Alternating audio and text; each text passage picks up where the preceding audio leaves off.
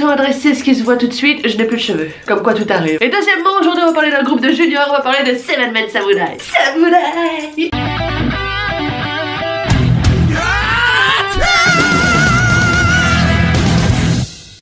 Formé en 2018, le concept de Seven Men Samurai était un peu basé sur Full of Tune, à savoir qu'il s'agissait de combiner non seulement les performances sur scène avec de la danse, mais également les performances musicales avec un groupe qui savait jouer de la musique. Le nom Seven Men Samurai a bien entendu été trouvé par Feu Papi Johnny, c'est un hommage au film d'Akira Kurosawa, dont Kitagawa était un grand fan, qui s'appelle Seven Samurai. Évidemment, comme il y avait 7 membres, Seven Men Samurai, pas de chance, maintenant ils sont 6 La particularité de Seven Men Samurai, c'était de faire des performances en skateboard, un peu sur le même principe que Hi Hi Jet et Kiss My faisaient du roller. C'est assez rare qu'ils nous sortent le skateboard parce que forcément sur une petite scène c'est très limité. Donc il y a beaucoup plus de chances que vous les voyez soit faire de la musique, soit danser. Et comme à l'accoutumée, ils ont évidemment servi de backdancer et de pack musical pour d'autres groupes de juniors ou d'autres groupes qui ont depuis débuté comme les Stones. Et des bons réseaux sociaux, donc vous pouvez les trouver non seulement sur la plateforme de Island TV, mais également sur YouTube car ils font partie d'un des groupes qui postent toutes les semaines sur la chaîne YouTube des Johnny's Junior. Ils étaient aussi en featuring sur la chaîne de Janino. Passons tout de suite à moi. Membre numéro 1, Nakamura Reya.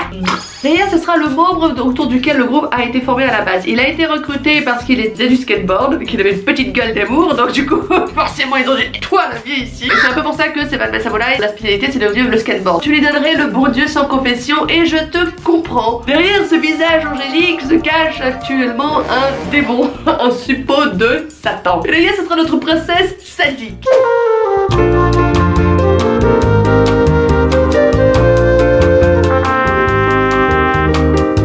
Fait très attention à son image, mais c'est vrai que du coup c'est devenu beaucoup plus intéressant quand les membres ont commencé à pointer du doigt que sa personnalité n'était pas forcément d'accord avec cette image là. Reya est le membre le plus âgé du groupe et c'est également celui qui a été dans l'agence depuis le plus longtemps. Regarde bien tous les vieux clips, tu verras forcément Reya quelque part, tu sais, d'ailleurs Sexy Zone, d'ailleurs ABCZ, d'ailleurs Kid Bullet, il était là, il était déjà là. Reya a fait pas mal d'apparitions dans des dramas et également dans des bouteilles, donc notamment dans Koino Yarugomi et dans Geki Karado. Et en termes de bouteilles, Reya fait partie de non seulement de Dream Boys mais également de Super Avec un autre membre de son groupe, ça c'est Kitaiko dont on parlera tout à l'heure. Comme je vous l'expliquais en intro, c'est vrai que chaque membre de Seven Samurai est en charge d'un instrument de musique. Reya sera plutôt en charge de la guitare et comme il est au centre, c'est vrai que ce sera plus le lead vocal du groupe. Ça a donné un petit peu un côté euh, Nicole and the Pussycat. Ça peut porter à confusion. Reya est également l'artiste du groupe. Tu vois, il a un petit côté un peu bohème, un petit peu hipster comme ça, mais c'est parce que très bon en dessin et c'est également lui qui est en charge de dessiner tous les logos pour le groupe. Donc si tu vois notamment un logo qui sera tagué sur la de Taiko,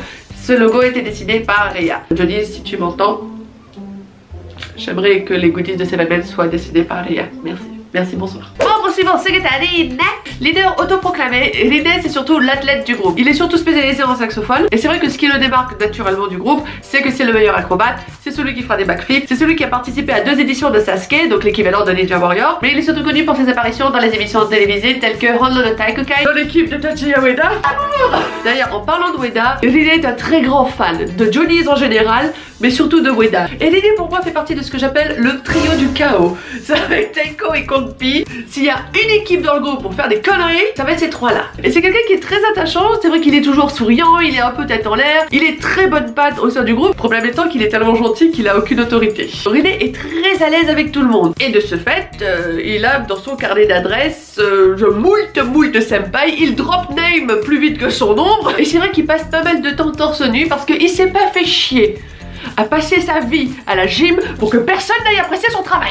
Ah oui, merci Linné. Je me chie Sugeta pour toi Linné a également participé à Dream Boys. Ce qui est assez marrant, c'est que c'est le seul à parler de lui-même à la troisième personne. Tu sais, un peu Alain Delon style, pourquoi pas. Et Linné a tendance à vouloir porter les gens.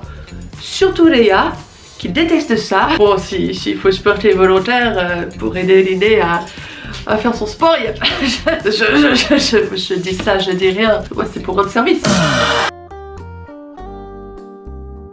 Membre suivant, Konotaiki, dit Kompi. Kompi au niveau de la répartition du groupe, il est à la guitare et il est souvent en back vocal. Donc tout ce qui est harmonie, high note, ce genre de choses, ça sera plutôt Kompi. Parce qu'il a une voix qui est assez mélodieuse et très délicate. C'est vrai que comparé avec des gens qui ont une voix un peu Kompi ce sera beaucoup plus moelleux. Il y a de fortes chances que visuellement tu trouves que Kompi c'est le blond. Le problème étant qu'en ce moment ils changent tous leur coupe de cheveux donc je vais te donner un type. C'est celui qui a l'air de se faire chier constamment. Kompi c'est l'essence même du stoïcisme. C'est pas qu'il se fait chier, c'est pas qu'il endormi, quoique. Quoique. Tel Ono de Arashi ou tel Ino dans Heisei Jump, Il faut un membre parfois comme ça qui peut être dans un coin pour juger tout le monde. Ça sera Konpi. Autant Katsuki est book smart, autant Konpi il est street smart. C'est le genre à être très observateur et à souvent reporter tous les jeux parce qu'il sait analyser un peu la situation, il connaît le caractère des gens et son cerveau fonctionne très rapidement. Konpi c'est le deuxième membre du trio du chaos. Méfiez-vous de l'eau qui dort. A priori ce serait même le membre le plus fandard de Seven Man Samurai. Et comme il a toujours bossé avec Taiko, forcément ça déteint au bout d'un moment. Donc bah s'il y a une connerie à faire, il va suivre. Il y a des gens comme, euh, comme Yabana ou comme Katsuki qui vont subir. Lui fera partie des instigateurs avec Line et Taiko. Konpi c'est également notre gosse de riche. Elle a des anecdotes très sympas comme le fait qu'il n'a jamais pris le bus. I cannot relate. Il y a une chose qui me perturbe beaucoup, c'est que Kompi a une manie de dessiner ce personnage qu'on appelle Ikemen. On est d'accord que c'est Mélodie de Hunter Hunter.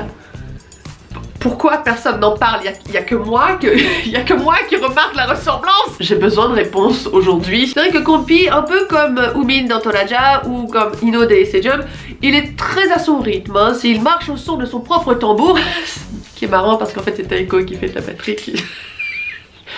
Excusez-moi. Mais surtout, ce qui est important à retenir, c'est que Kompi est un très grand fan de Kimura Takuya. C'est-à-dire que Kompi est à Kimtaku ce que Chinel est à Ono. Voilà. Membre suivant, Monadaka Katsuki. Katsuki, ce sera la force tranquille, ce sera le cerveau du groupe. C'est l'équivalent de Abichan dans Snowman ou de Noël dans Travis Japan. Il est plus porté sur le côté intellectuel, il est passionné par les maths, il a été classé premier à un concours national. C'est dire le niveau. C'est celui qui est foncièrement un caractère qui est beaucoup plus posé, beaucoup plus calme. A priori, c'est celui auquel tu peux t'identifier rapidement parce que c'est le plus normal du groupe. Mais dans un groupe aussi chaotique que Seven Men, à prendre avec un grain de sel. Hein. Et c'est le seul d'ailleurs qui parle correctement anglais. je t'avouerai que quand j'ai entendu Katsuki parler anglais, Hello you! How you doing? Du coup, forcément, Katsuki, c'est souvent celui qui est en charge des parties rap ou des parties en anglais. Il est souvent placé au clavier ou au synthé. Avant de faire partie des Seven Man Samurai, Katsuki faisait partie d'une unit provisoire qui s'appelait Tensai Genius avec Rinne dont on a parlé tout à l'heure. Et niveau bouteille, récemment, Katsuki a participé à Robin, pièce musicale dont il a partagé le lead avec son copain Konpi. Visiblement, les Seven Man Samurai, ça marche par paire, c'est-à-dire que tu en castes un, il y en a un deuxième qui vient gratuit avec. Et la grande passion de Katsuki, c'est la bouffe, mais surtout la pêche et le poisson. Oui, madame. Sa passion pour la bouffe euh, fait qui se fait souvent tailler sur son poids. Ce que je trouve assez bizarre, alors ça, ça doit être une différence culturelle parce que pour moi, Katsuki, c'est le seul qui a une corpulence normale. Justice pour Katsuki, s'il vous plaît. Parce qu'il y a une chose à préserver quand on a un corps pareil, c'est ce joli petit postérieur. Moi, moi, ça me ferait de la peine s'il perdait du poids et que du coup, on perdait un derrière pareil. I got you. Membre suivant, Yabana Lei. Yabana dit Banasal, c'est le dernier membre à avoir rejoint la formation actuelle du groupe. C'est le musicien. C'est-à-dire que Banasal, il sait jouer tellement d'instruments de musique qu'on en a perdu le compte. Hein. C'est-à-dire qu'il sait faire de la guitare, il sait faire du piano, il sait faire de la basse, il sait faire du, du shamisen, il sait faire de la batterie. Qu'est-ce qu'il qu'est-ce qu'il sait pas faire? Je, je, je, ne sais pas. Tant de talent dans une seule, dans une seule petite personne, moi ça me vexe. Après, c'est vrai que dans la formation Seven Man Samurai, Yabana est surtout à la basse et il souffre de ce syndrome du bassiste fou tu as Yabana off stage qui sera un peu la victime, tu sais, c'est souvent lui qui présente, donc il a le rôle de MC au sein du groupe sur les vidéos YouTube. Et c'est vrai que s'il y a quelqu'un à maltraiter, ça va être pour sa gueule. Victime. Euh, consentante, hein, mais victime quand même. Et sur scène, alors je sais pas ce qui se passe, il passe en mode berserk. Parce que j'ai un pote qui est bassiste dans un groupe de métal et quand il a vu Yabana, il a fait lui, lui c'est un bon. Pourquoi tous les bassistes sont tarés? J'aimerais savoir. Yabana, est-ce qu'il y a un contrat quand tu deviens bassiste dans le groupe qui t'autorise à péter les plombs une fois que tu es sur scène? Je, hmm. Avant de rejoindre le groupe de passion officielle, Yabana aidait déjà le groupe en backstage, donc il compose beaucoup, il a fait beaucoup de collaborations aussi avec Stones.